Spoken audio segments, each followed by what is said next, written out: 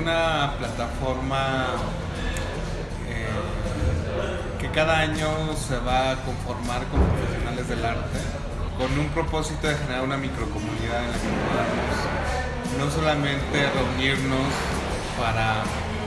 eh, en torno a la producción artística que se genera en el país, sino también para rendirle homenaje a un artista mayor, un artista de la tercera edad, que se encuentra en condiciones de vulnerabilidad económica. Eh, es muy importante para nosotros eh, respetar a nuestros artistas, eh, generar una serie de reflexiones y de incidencias sociales a partir del arte. Elia Montiel es uno de los artistas de la llamada generación del neomexicanismo de la década de los 80, eh, que incidió de manera muy particular por su sentido del humor y su ironía. Raquel Tibol decía que era un neobarroco que echaba mano de la fealdad para poder incidir de manera crítica en la propia historia de la pintura. Tuvo mucha exposición en el Museo de Arte Moderno, sobre todo con Teresa del Conde cuando era directora del museo y pues Helio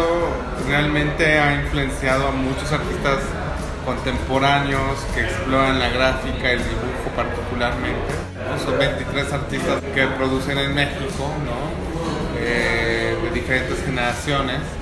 Está desde Roberto Chumbul hasta Tania Candiani, que nos representó en la Bienal de Venecia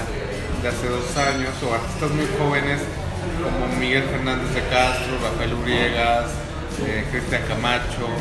Es decir, en Masters apuesta por el diálogo, apuesta por el encuentro, apuesta por reflexionar alrededor de la producción artística. Lo que vamos a hacer justamente es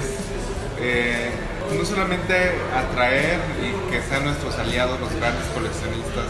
que hay en México, sino también educar a los compradores de arte que generalmente eh, se van por firmas, por marcas, por llamarlo de alguna manera,